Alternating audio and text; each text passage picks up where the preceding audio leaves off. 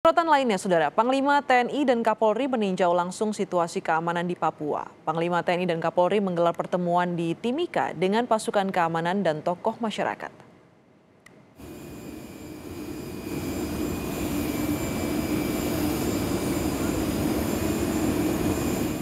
Marsikal Hadi Cahyanto dan Jenderal Listio Sigit Prabowo datang ke Papua membahas situasi terkini dan penanganan kelompok teroris. Hal ini sebelumnya disampaikan oleh Kapolda Papua dalam rangka penanganan kelompok kriminal bersenjata yang saat ini disebut sebagai kelompok teroris.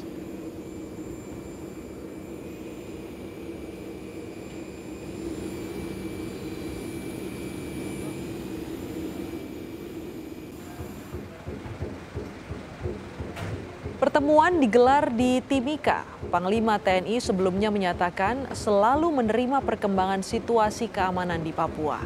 Namun, Panglima ingin mendengar secara langsung dari pasukan di lapangan yang turun memberikan keamanan bagi warga.